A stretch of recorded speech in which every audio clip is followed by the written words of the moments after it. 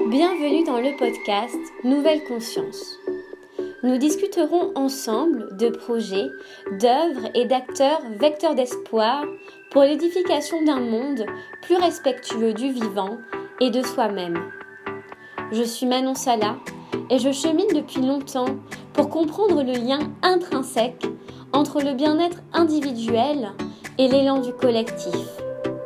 Je vous invite à me joindre dans ce jeu de pistes afin de semer ensemble les indices vers une nouvelle conscience. Professeur de sciences politiques et de langue et civilisation hispanique à Sciences Po Strasbourg et à l'École nationale d'administration, Enrique Uribe Calaño est aussi écrivain, sociologue, poète. Il transmet sa poésie et ses messages de paix à la fois à travers ses cours, à la radio ou dans les articles qu'il rédige en tant que correspondant de presse au Costa Rica. Enrique Uribe Caraño est également un entrepreneur pour la paix et la démocratie, entre autres président de l'association Les Mozarts à Strasbourg, membre fondateur de l'Observatoire citoyen pour la transparence financière internationale. Merci, Monsieur Uribe, d'être parmi nous aujourd'hui. Bonjour. Bonjour, comment allez-vous? Très bien, merci beaucoup. Parfait, ben, merci d'avoir accepté cette invitation pour le Juste une petite clarification. Mhm. je ne suis pas poète, amateur de poésie.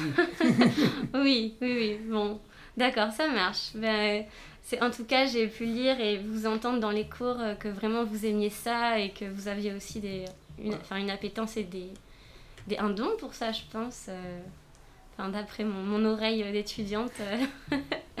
la, première question que je souhaiterais vous poser euh, concerne justement euh, ces, euh, triples casquettes entre le sociologue d'un côté, le politologue.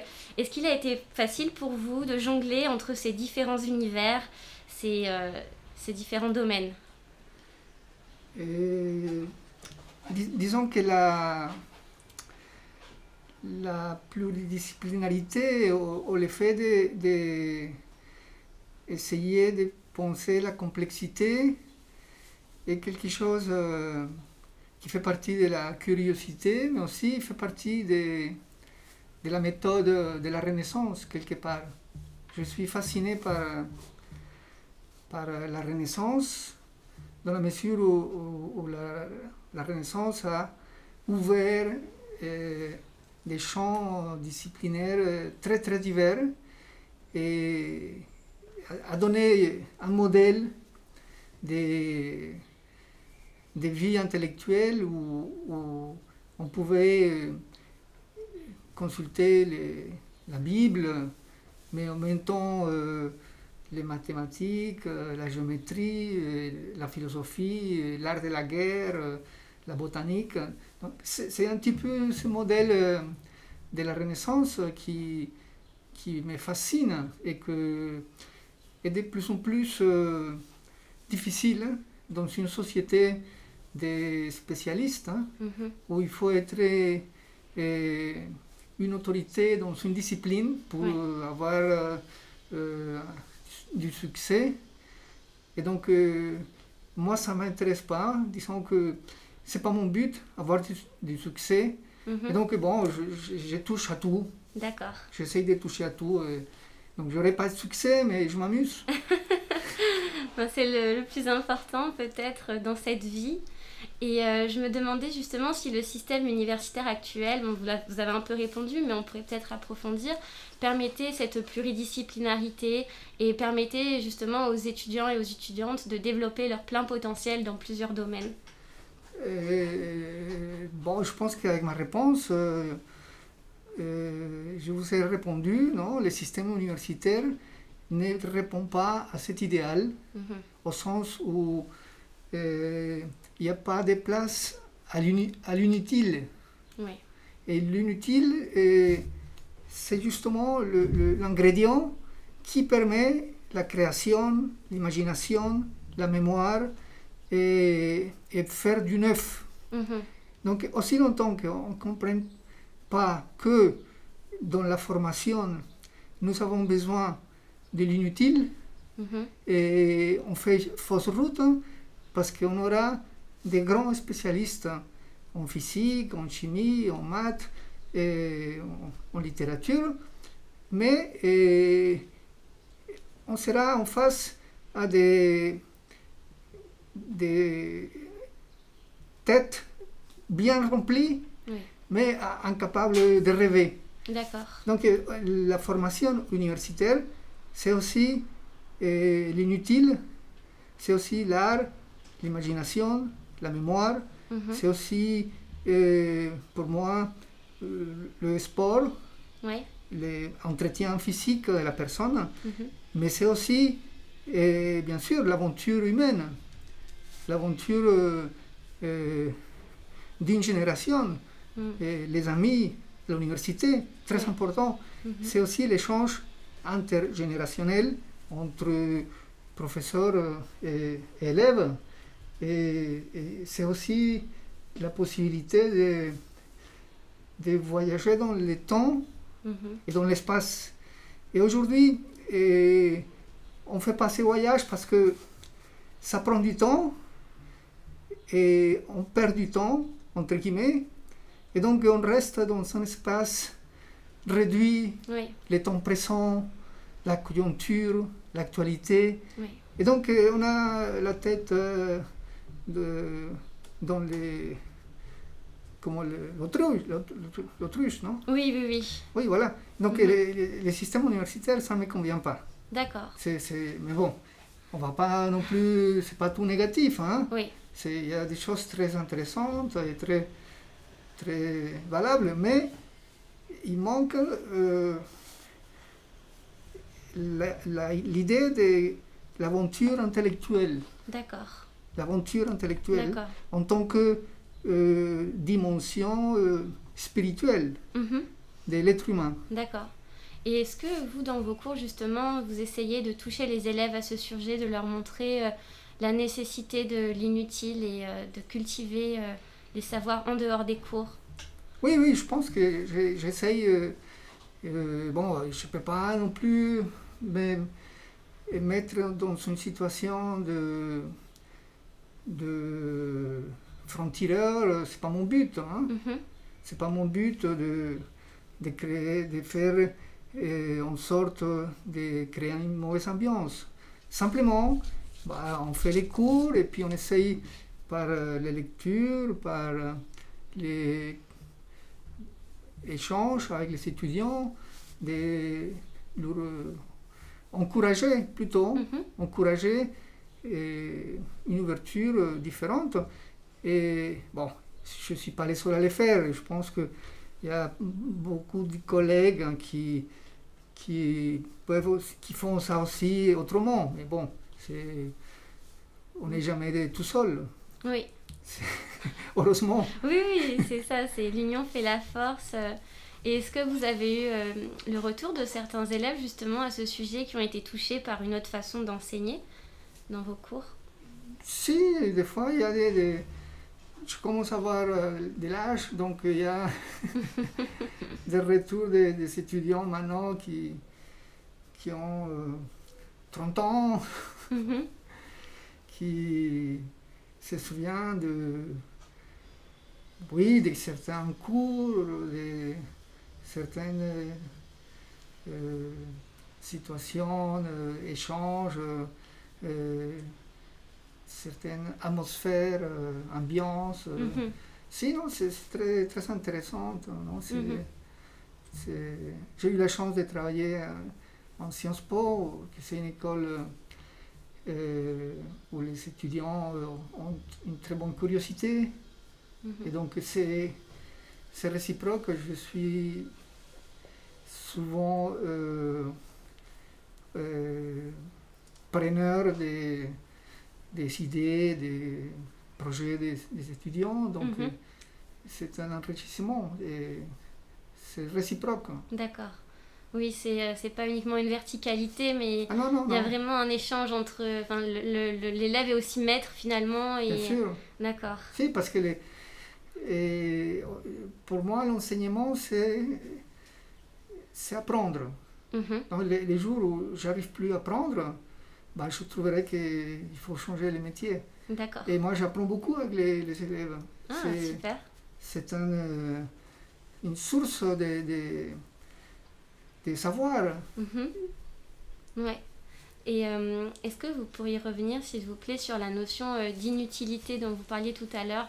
Qu'est-ce que qu'est-ce que vous entendez par là? Oui, la, la question de l'inutile, c'est un des clés de,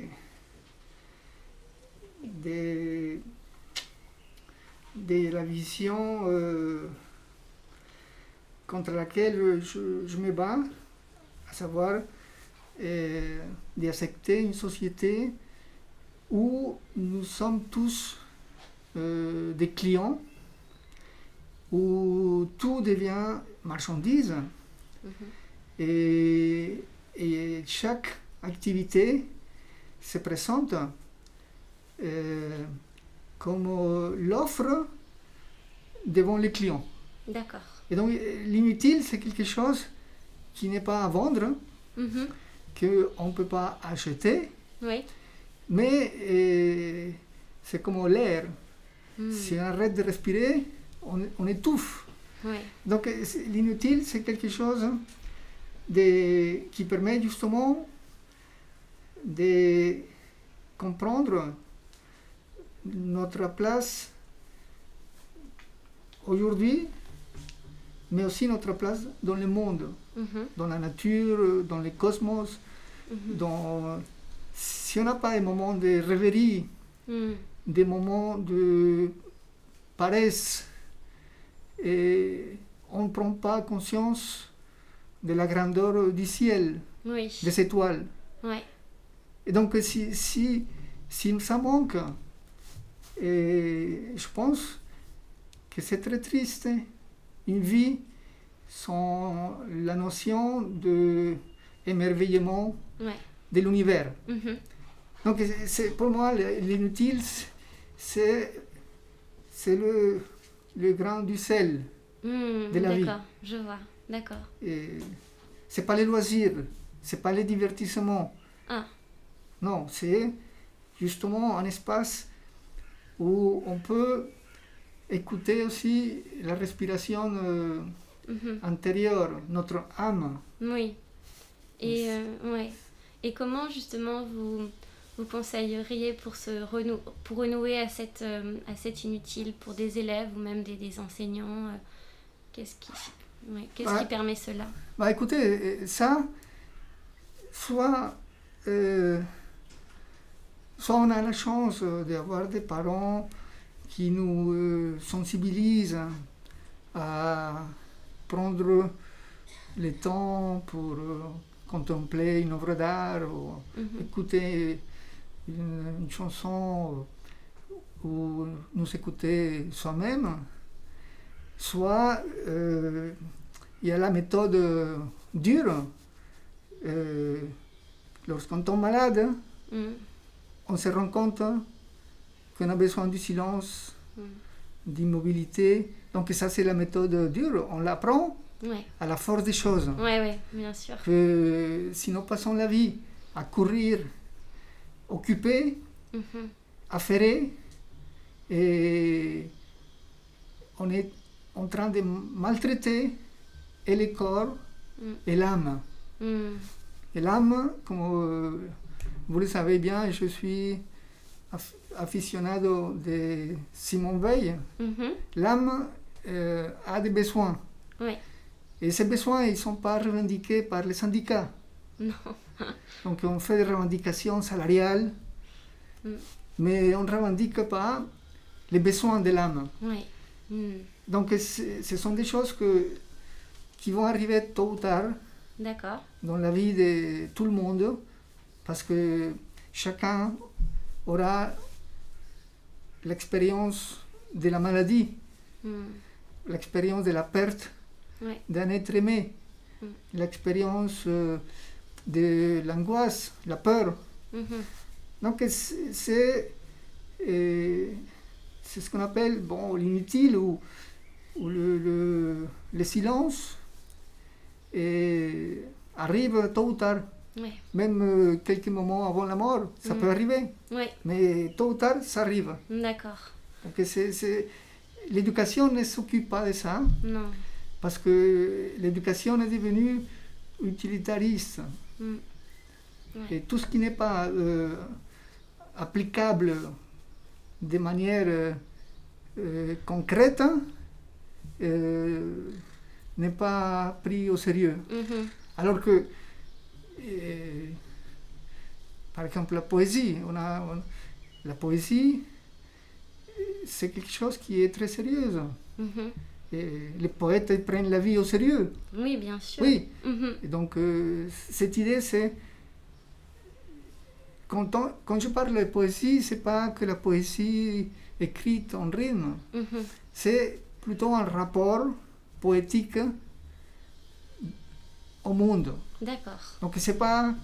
La poésie, ce n'est pas les- seulement l'écriture, ça fait une partie minime. Mhm. Mais la poésie de, de la vie, c'est quelque part euh, être à l'écoute. Mhm. Et être à l'écoute, c'est la générosité de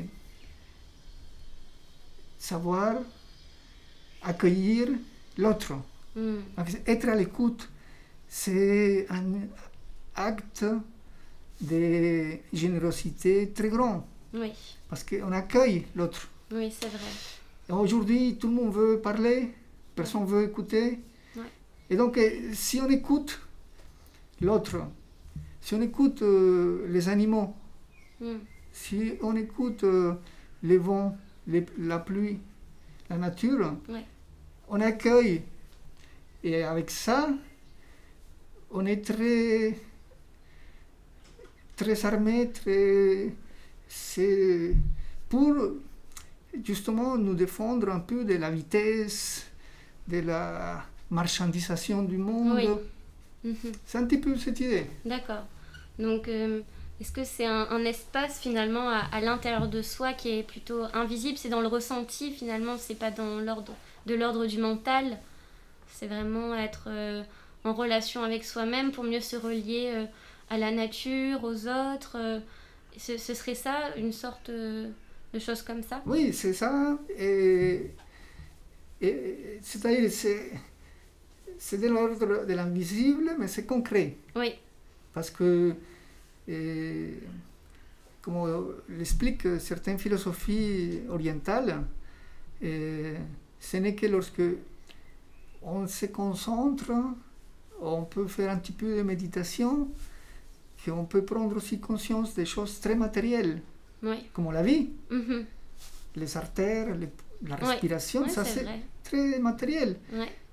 Euh, la nature, euh, les, les odeurs, c'est Ouais. des choses matérielles. Mhm. Ouais, ouais. Par contre, si on n'est pas dans un état d'accueil, on n'a aucun euh, euh, sentiment ou, disons, oh, on vit dans une certaine indifférence. Mm. Et c'est l'indifférence, je pense que c'est la chose euh, la plus euh, dangereuse pour un être humain Mhm. ou un être animal, l'indifférence. Pourquoi? Parce que l'indifférence vous déresponsabilise. Ouais. Et moi, je viens d'une famille euh, qui était, qui, qui était des familles de- une famille urbaine. Et donc, on n'a jamais eu de contact avec la nature. euh, Mhm. Et les jours où je- je commençais à, à cultiver des tomates sur le, le balcon, j'étais confronté euh, aux limaces. Ouais. Et donc, j'ai dû me poser la question euh, quoi faire avec les limaces? Mhm. Alors, le système actuel vous donne les tomates. Et nous, on on délègue euh, aux agriculteurs cette affaire qu'ils se débrouillent avec les, les limaces. Ouais, c'est vrai. Et donc, euh, on vit un système qui, qui nous rend aveugles. Mhm. Alors soit vous dites, euh, bon, je, je vais les tuer avec de la bière, des limaces, Je connaissais pas cette technique. parce qu'ils aiment la bière, Ah d'accord. oui. Soit on, euh, on va les, on va les laisser cohabiter et, et leur donner de l'écorce d'orange ou de la salade. Et, Mhm. on, et on fait en sorte que les limaces vivent et que nous, on puisse quand même prendre quelques tomates et quelques salades. D'accord. Mais, mais alors, euh, si on achète la tomate au supermarché, les limaces, c'est pas notre affaire. Non, c'est vrai. On a- Donc, euh, ouais. On délègue ça à, à- à d'autres personnes. Mhm. Donc l'idée, c'est qu'on a délégué trop de choses. Ouais. Mm. On ne sait pas comment, euh, comment ça se passe l'élevage des, des viandes, Non. les poulets, et les monocultures euh, des céréales qui produisent beaucoup de, de. Mais nous, on achète, et, et lorsqu'on achète, on est déresponsabilisé, ce n'est pas notre affaire. Oui, c'est vrai. Donc c'est un système qui, qui nous rend indifférents. Mhm. Donc cette idée de, la, de vivre indifférent, tourner le dos à, à la vie, et, et entre autres la cause de l'impasse où on se trouve? D'accord. Et est-ce que vous pensez que hum, cette déconnexion est, en partie culturelle ou euh, puisque on vit en France euh, et donc ce système industrialisé vient de l'Occident? Donc euh, est-ce que vous pensez que il y a aussi des différences culturelles sur euh, ce rapport-là avec euh, la déresponsabilisation et, euh, et aussi l'inutile Bon, je, je pense que c'est, comme vous dites, euh, culturel, mais pas au sens français, mais au, au sens de la modernité. Oui, Et la modernité aujourd'hui, elle est partout. Mm. Et donc, euh, c'est ça le problème. La modernité a envahi le monde entier. Il y a des très bons côtés à cette modernité. Euh, la science, euh, la technique, euh, Mm. mais il, il y a un côté qui est euh, prédateur, aveugle, Oui. et, et c'est planétaire. Oui. Donc euh, aujourd'hui, on a cette situation où jamais dans l'histoire de l'humanité, on avait eu euh, une humanité plus ou moins unie par la communication. Mhm. C'est la première fois dans l'histoire de l'humanité. Oui. Donc nous sommes à un moment euh, clé et avec des risques très très gra- grands, Mm. mais avec des opportunités très grandes aussi. Lesquels Bah, lesquelles est la socialisation des, des bonnes idées, Mhm. des trouvailles. Aujourd'hui, euh, euh, si vous avez une trouvaille qui génère de la communauté, Ouais. vous pouvez la socialiser et cette trouvaille va se retrouver partout dans le monde. Ouais. Et donc c'est génial. C'est tout ce qui est euh, créa- création de communautés, des liens sociaux, euh, qui est gratuit, ça c'est un bienfait pour l'humanité. Mm. Donc aujourd'hui on peut le faire. Mm. Et de l'autre côté, vous savez mieux que moi, les réseaux sociaux, ce sont les moulins qui, qui donnent la, la force à des idées Ouais. De destruction, de haine. de-. Ouais, c'est vrai. Donc on est dans une conjoncture euh, très intéressante. Et pour moi, c'est fascinant de Mhm. voir ce qui se passe. Ouais. Ouais, vous, est-ce que vous sentez justement qu'on est dans un point de bascule? C'est-à-dire, euh, on a la capacité de pouvoir euh, faire évoluer les choses euh, dans un sens bon pour, pour la planète, pour l'humanité ou au contraire, là, on est dans des années où on peut continuer cette destruction Vous pensez là qu'il y a un, changement qui peut s'opérer Oui, euh, on va vers la catastrophe mm. ou on va vers euh, une certaine euh, politique de la prudence, du partage, de la coopération. Et donc c'est fascinant. C'est un moment où où les... rien est joué, rien joué, et il y a une jeunesse partout mm. qui a des, beaucoup d'idéal. Mm-hmm. Et dont Greta Thunberg, c'est une des représentantes, symbole, symbole. Mais dans tous les pays, on voit une jeunesse avec beaucoup de, des idéaux. Mm. Mais en même temps, bien sûr, on voit aussi une jeunesse euh, qui a la haine, qui se replie, qui a peur mm. et qui se fait pas manipuler par des professionnels de, de la division et puis du discours euh, de la guerre. Mm.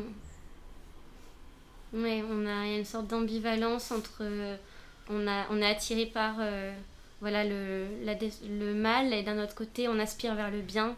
Et parfois ça peut être dur en tant que jeune de se positionner aussi face à toutes ces informations. Euh, et on a besoin aussi de personnes qui nous guident, qui nous donnent de l'espoir, euh, oui. je pense. Il y a un passage très intéressant de, du malaise de la culture de Sigmund Freud, mhm. justement la dernière page, mhm. où il signale Freud que on est, là, il a vu, là, au début du siècle, du siècle dernier, il a vu que eh, déjà la science, la technique était capable de détruire le monde et mhm. l'humanité, et la vie même. Il, il, a vu. Et il signale que bon, cette conscience d'autodestruction nous angoisse à tous.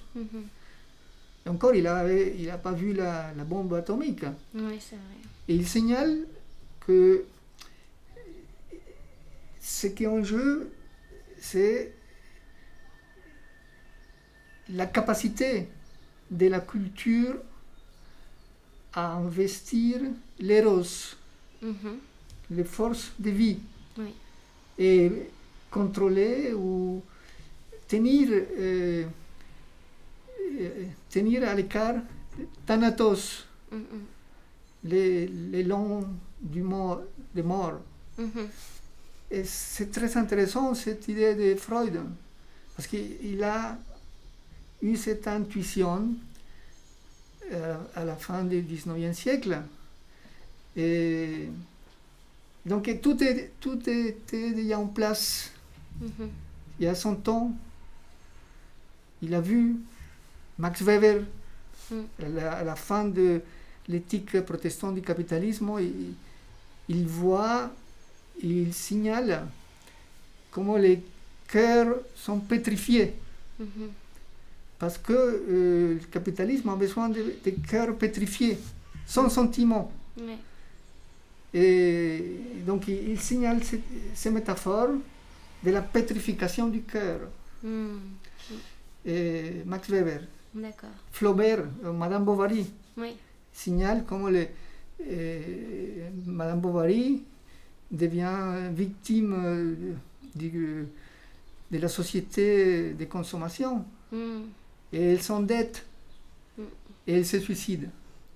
Donc il y a l'endettement la société consommation et les suicides. Donc, mhm. Flaubert, il, nous dit déjà, attention, on est dans une société où tout devient marchandise. Mhm. Donc il, il, faudra que nous on fasse plus attention à ce qu'ils disent les poètes. Flaubert, c'est un poète, donc il nous le dit. Et, et c'est très intéressant, Dostoïevski nous le dit. Aussi.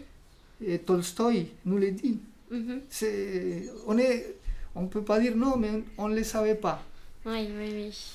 Donc c'est très intéressant l'idée de Freud, voir la capacité qu'a la culture Mm. pour investir l'éros, Mhm. les forces de l'amour. Mm. Finalement, c'est ça, l'amour. Mm. C'est ça l'idée euh, qui qu'on doit quand même euh, partager dans les écoles, dans les lycées, dans la société, l'amour. Mhm. Mais l'amour est devenu la sexualité, Mhm. une marchandise, quelque Oui. part. Mm. Donc on a fait fausse route là, de ce côté-là. Mm. Oui, c'est pas un, pas un éros justement, euh, euh, comment dire, un, un éros euh, stable, bienveillant. C'est plutôt un éros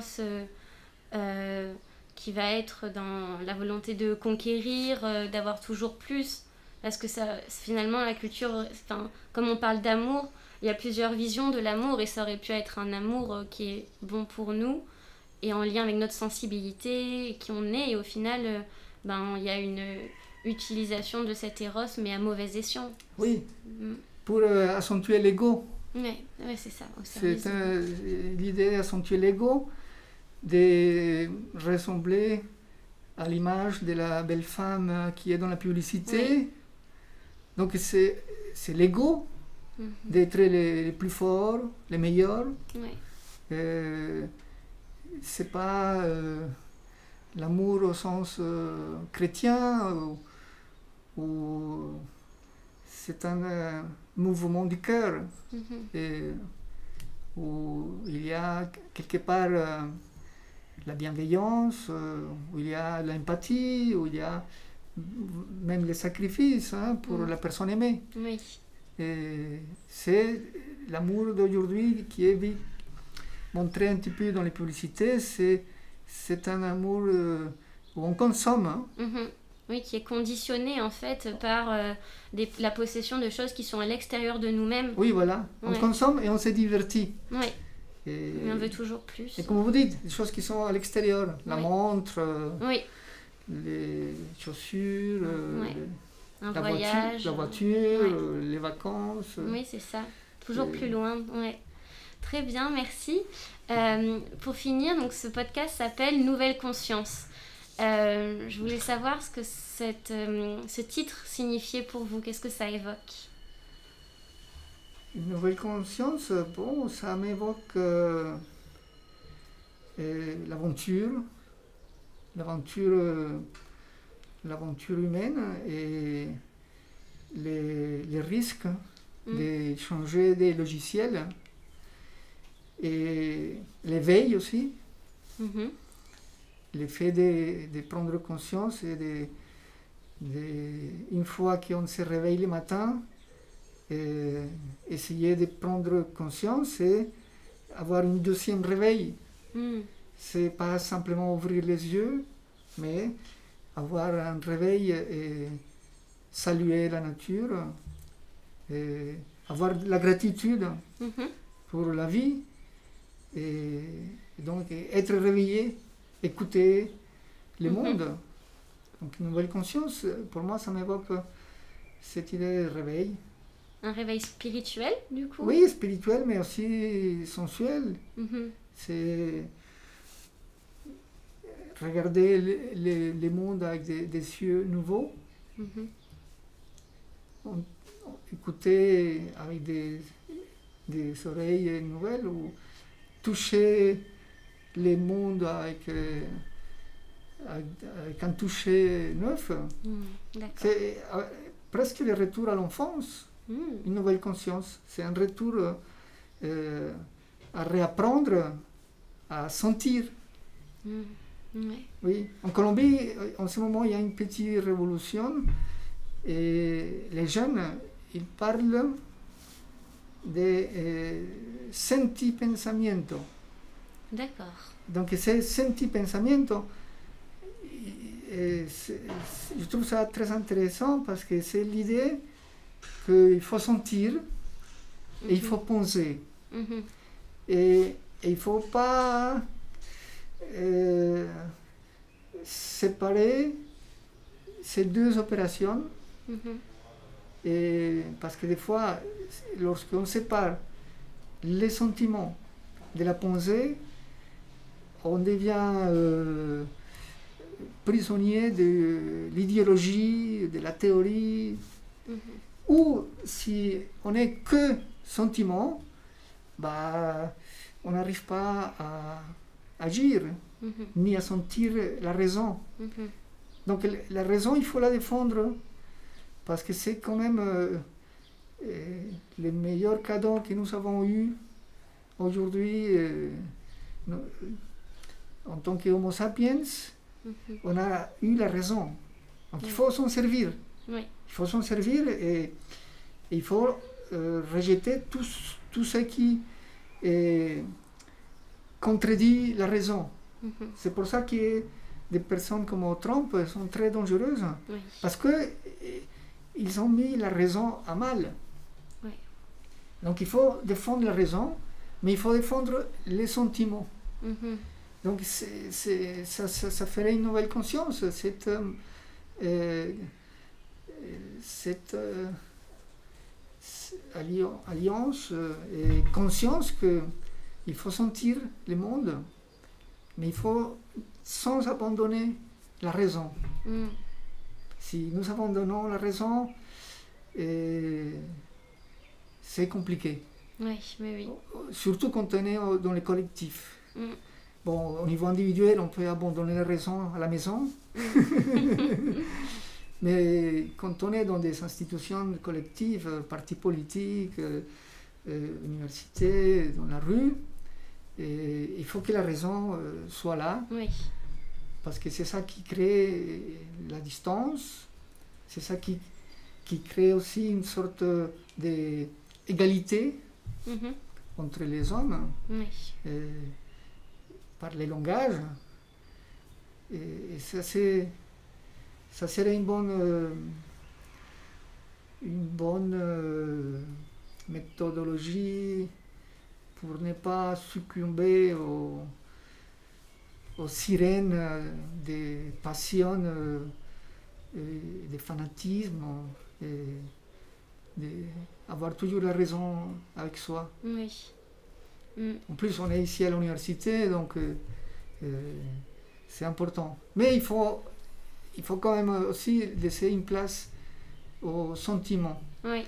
On ne voit bien qu'avec le cœur, non? On dit Oui. avec euh, Antoine Exupéry. Mhm. Oui, on ne va bien qu'avec le cœur. Et après, il y a la suite. L'invisible, Est- non, l'essentiel, Est invisible Est un- pour les yeux. voilà. Oui, c'est ça.